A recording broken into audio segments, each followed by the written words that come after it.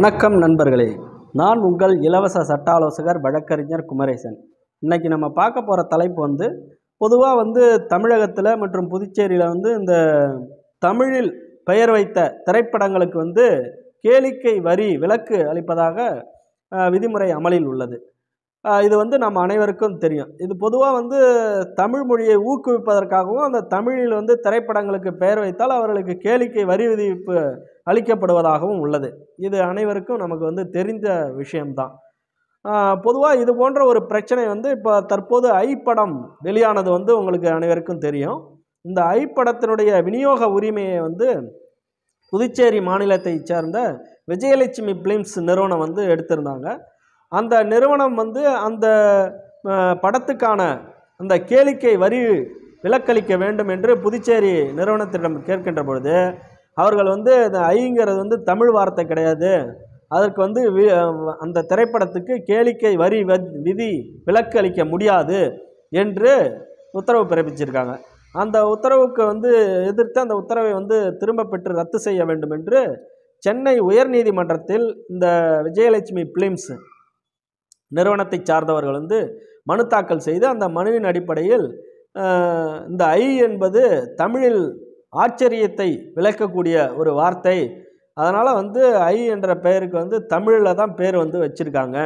அதற்கு வந்து கேளிக்கை வரி விதி விலக்கு வந்து இந்த புதுச்சேரி மாநிலம் அளிக்கணும். அவர்கள் பிறப்பித்த உத்தரவை வந்து ரத்து செய்யணும் என்று அந்த மனுவில் தெரிவித்து விசாரணை நடைபெறுகிறது.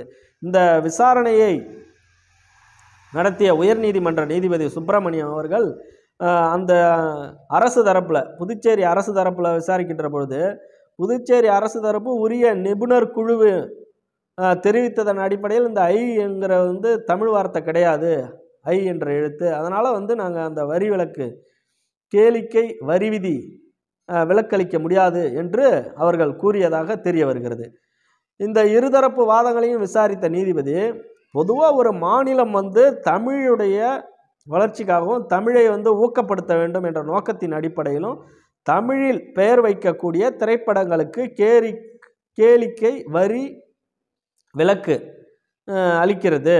இப்படி விலக்களிக்கும் போது அந்த கேளிக்கை வரி விலக்களிப்பு வந்து அந்த படத்தை தயாரிக்கக்கூடிய நிறுவனம் வந்து ஒரு உரிமையாக கோரி நீதிமன்றத்தில் மனு தாக்கல் செய்து ஒரு உரிமையாக கோர இயலாது. அந்த உரிமையை கேட்க முடியாது. அவர்கள் அரசாங்கம் வந்து உரிய நிபுணர் குழு அது தமிழ் வார்த்தை தான் என்று அவர்கள் தெரிவித்தால் அதற்கு தமிழை ஊக்கப்படுத்தும் விதமாக கேளிக்கை வரி விதி விலக்கு அளிக்கலாம். ஆனவே அவங்க வந்து வரி விதி விலக்களிக்க மறுத்தால் அதை வந்து அந்த பட தயாரிப்பு நிறுவனம் ஒரு உரிமையாக கோர இயலாது என்று கூறி அவரின் அந்த விஜயலட்சுமி பிலிம்ஸ் தாக்கல் செய்த இந்த மனுவை வந்து நீதிபதி தள்ளுபடி செய்து விடுகிறார்.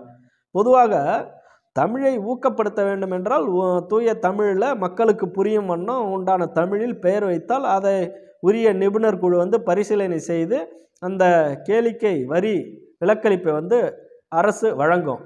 அதுவே அவர்கள் வழங்காது மறுத்தால் அதை வந்து ஒரு உரிமையாக கோரி பெற முடியாது என்பதைத்தான் அந்த நீதிமன்றம் தீர்ப்பில் கூறியுள்ளது. இதை தமிழின் வளர்ச்சிக்காகவும் தமிழை ஊக்கப்படுத்துவதற்காகவும் இந்த தீர்ப்பு சொல்லியிருப்பது குறிப்பிடத்தக்க தீர்ப்பாக கருதப்படுகிறது. ஆகவே நண்பர்களே இது போன்ற நீதிமன்ற தீர்ப்புகள் சட்டம் சார்ந்த தகவல்களை நாங்கள் அவ்வப்போது பதிவு செய்து கொண்டு வருகிறோம்.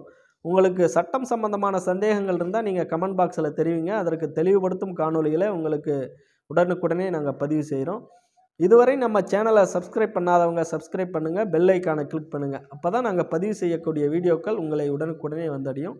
மேலும் அடுத்து பயனுள்ள சட்ட தகவல்கள் அடங்கிய காணொளியில் உங்களை சந்திக்கும் வரை உங்களிடமிருந்து விடைபெறுபவர் நான் உங்கள் இலவச சட்ட ஆலோசகர் வழக்கறிஞர் குமரேசன். நன்றி வணக்கம்.